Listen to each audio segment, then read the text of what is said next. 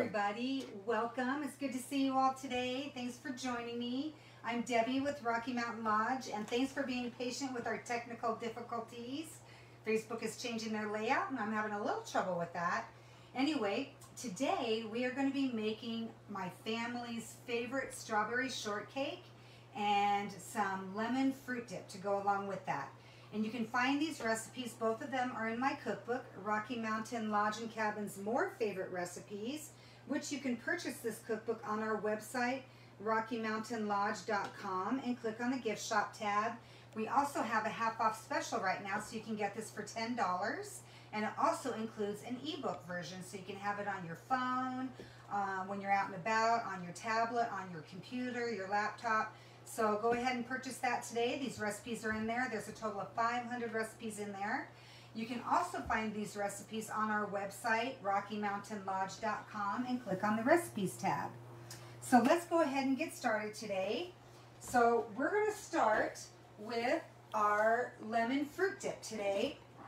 Only three ingredients for this, super easy to make. What we have here in this bowl is just one package uh, 3.4 ounce, it's a small package of lemon pudding mix, the instant one. So we have a package of that right here in this bowl.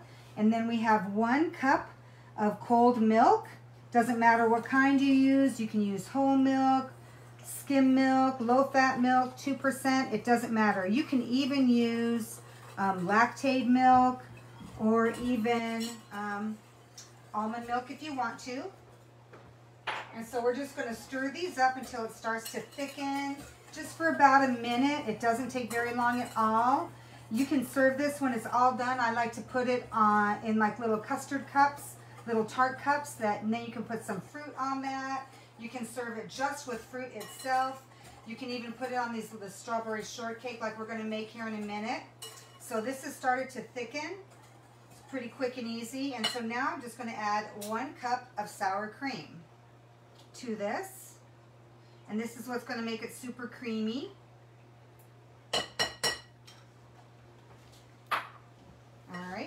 So it's just those three ingredients, the pudding mix, the milk, and the sour cream. And so we're just going to mix this up, and then we're just going to set this aside until it sets. It only takes a couple of minutes, but I just wanted to get this started and ready so I can put it on our shortcakes a little bit later. All right.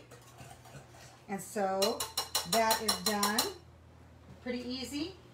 You can let that set. And I also like to serve it with fresh fruit, which I have right here. I've got some strawberries there, a little bowl. And I'm just going to put some of this in here. And so you can just dip your fruit right in there with that fruit dip.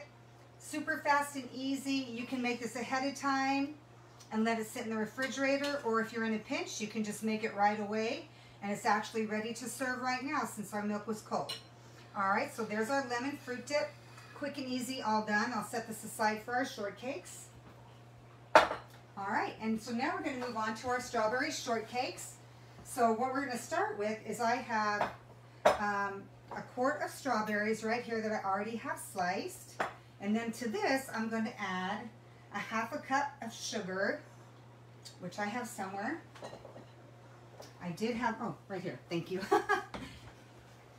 I always like to say, if my head wasn't attached, I'd lose it. So here's a half a cup of sugar. We're gonna add that to our strawberries. And we're just gonna stir this up. I like to do this ahead of time, like an hour or two ahead of time, just so that the strawberries can get all mixed up with the sugar and then they start to macerate, which means they just basically start to break down. And so I'll set this aside, but you can see that I already have some that I've done. I did these about two hours ago. And this is what happens after they've been macerated. You can see they make their own syrup right there. So this is what I like to add into my shortcakes or pour over my shortcakes later on. And so, but I do this ahead of time. That's the first thing I do and let that set, sit aside, set aside so that those strawberries can macerate. And that's really important. Yes, because we like that juice to get all into our biscuits later on. So now we're going to move on to the shortcake part. This is my family's favorite recipe for this shortcake. And so we're just going to start just a few ingredients. We have two cups of flour here that we're going to put in our bowl. I have my oven preheated to 425 degrees. Make sure that's nice and hot before you get started. And then to this, we're going to add two tablespoons of granulated sugar. Is that sifted flour? It is sifted flour. I sifted it ahead of time, but you don't have to have it sifted. But I like to sift it, but I'm actually going to sift all of this together again. I'm going to whisk it together. This is three teaspoons of baking powder. And then one teaspoon of salt, granulated salt. Well, I guess granulated sugar. Salt's always granulated, right? so now I'm just going to whisk these together. So they're all blended and help whisking it also kind of helps lighten that flour again, kind of like sifting it. So you can just whisk it. And now, right here I have one third of a cup of shortening. This is butter flavored shortening. This is probably what helps to make them taste so good. You can just use regular shortening if you don't have butter flavor. It's just fine. I use regular whenever I don't have the butter flavor on hand. And so for this, I am just going to cut these in with my little pastry blender. If you don't have a pastry blender, just use two for uh, two knives, just two butter knives to cut this in. You can even use your fingers or your hands. You just want to get all of this shortening mixed into your flour mixture until it gets to be like the size of peas. It just takes a minute or two, not very long. These shortbreads are super easy to make. When I was growing up, my mom always bought the sponge type ones that you can find in the veg in the produce section by the strawberries. This time of year, you can find them everywhere. They're the little round sponge ones that have like a little hole dented in the middle of them. My mom always did that, but when I started to make those myself, I thought they got too soggy. And so I ended up switching to this biscuit type recipe that I found or that I've been using for years. I think this actually is my biscuit recipe. It actually, not that I don't think it is, it is my biscuit recipe. But I'm going to put a little bit of a change to it here in a minute. Jazz it up a little bit. So there's our mixture. And then we are just going to take a fork and we are going to add three quarters of a cup of milk to this right here. And we're just going to mix these up.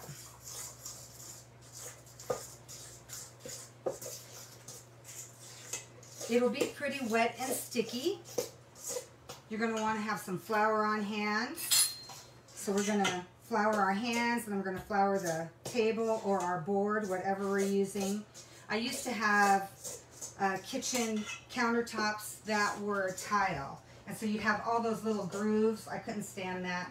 So I always would have a cutting board on my counter to, to work with because I didn't have a smooth surface. surface. All right, so you can see this is pretty wet. It's pretty well blended.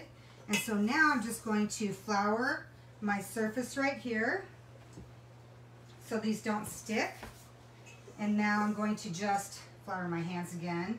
Get that fork out of there. We're done with that. We're just going to bring this together into a ball and it's pretty wet and soft. So I'm just going to bring it into a little ball here, just enough to make it all stick together. I want to get all of that out of there. Now this is going to make about six shortbreads, a medium-sized shortbread. Um, so it'll serve six people. And then I'm just going to pat this out. I'm not even going to bother with my rolling pin. I'm just going to pat it. It's okay if you have little cracks and crevices in there. So, and I want this pretty tall right here. I don't want it really flat because I want them to puff up and be really tall so that I can break it in half or cut it in half when they're done. Let me wash my hands here. But I'm going to want to cut that in half after it's cooked, and I've got some that are done that I'll show you in a minute. Okay, so these are done here. And so I have three different sizes of my biscuit cutters right here. I like to use the middle size one because once we have them doubled up in height, it becomes a lot of biscuit. So I'm just going to cut this into, I should have floured that first. if I flour it first, it wants to, and then I'm just going to set them on my cutting board, which is not greased. and I set, try to set them close to each other so that way they don't spread apart. And we should get six of these. Looks like I can try to get another one out of this. I like to get as many as I can first time around. Okay. Because every time you roll it out, it becomes not quite as tender.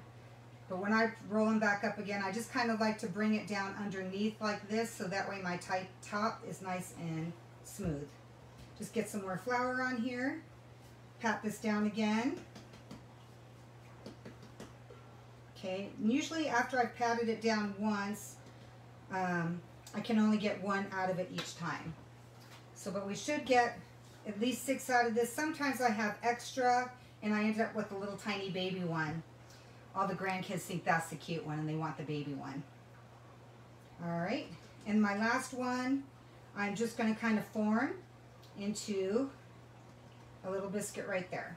Okay, so now we have six biscuits right here for our shortcakes. Wash my hands again here.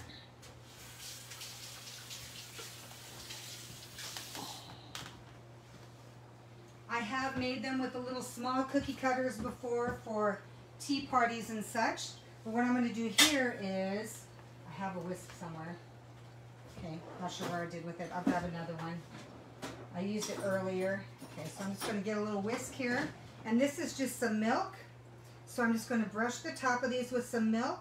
And the reason I'm doing this is because I'm going to sprinkle these with some of this vanilla sugar right here. And I want that to stick to these. And then it's going to form a crispy top on these with a little bit of a sweetness on the top. Since there's not very much sugar inside them, only two tablespoons. And that's a brush, not a whisk. Oh, yes, that is a brush.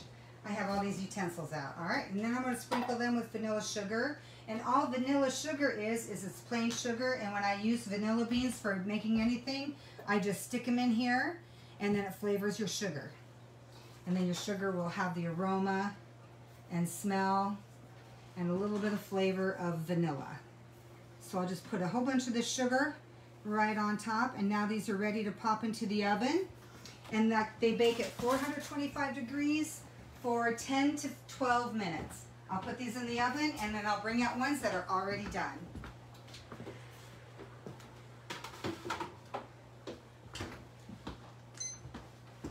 All right, and then I have some that are done right here that I made just before the video. Actually, I'm gonna wipe off this counter really quick. Just so I have a place to put these.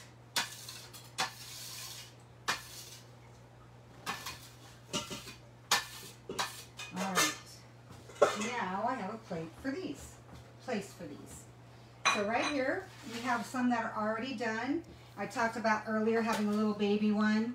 So you can see I had a little bit of extra dough for a baby one. But I like them to come out really tall, like this. They come out nice and flaky.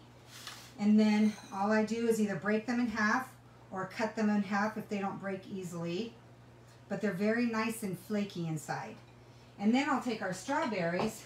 These are the ones that I made earlier that are already macerated and have their own syrup on them.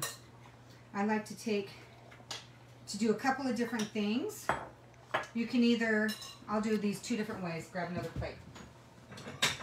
I'll make these two different ways. This is the way I make them often, just by putting some strawberries on here. And this juice that we have here is going to seep into the bottom of the biscuit right here and soak it up. Give it all that good flavor right there. And then I'll take a little bit of whipped cream that I made earlier as well. All I do is I buy whipping cream, I add some powdered sugar and a little vanilla extract and whip it up. Once you buy, once you start making your own whipped cream, you won't go back to the, the tub stuff. Then I'll put some of that on there and then I'll top it with a little more, with um, the other half of the biscuit. Top it with a little bit more strawberries. Try to get them to stay on here. Oops, I hit the wrong timer. Right back.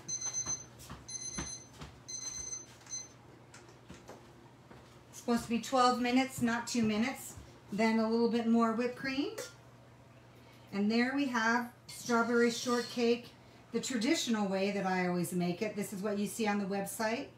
Or we can do this kind, which is why we have this vanilla pudding here. So we'll take another biscuit, break it in half, or you can cut it in half. We'll take a little bit of our lemon pudding and put that on the bottom here, our lemon fruit dip here, and the strawberries right on top of here.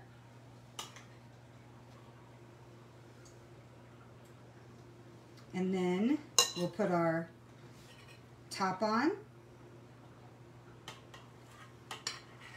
And this one I'm going to do it the other way around. I'm going to put the pudding on the bottom.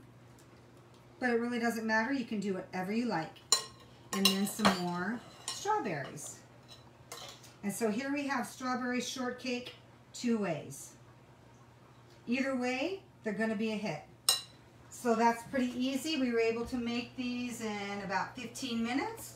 All these pretty quick. And so you can find these recipes again on our website, RockyMountainLodge.com. Click on the recipes tab for the recipes. Or you can buy our cookbook by clicking on the gift shop tab. And come back next week and we're going to be making, we're going to, I'm going to start making summer salads for the next few weeks. And so next week we're going to make frog eye salad. If you've never heard of frog eye salad, you're in salad, you're in for a real treat. It's not made with frog's eyes. They just kind of look like it, but a big hit with grown-ups and kids alike. All right? So thanks for joining me today. So go make some strawberry shortcake while these are all in season. Have a great day, everybody. Bye.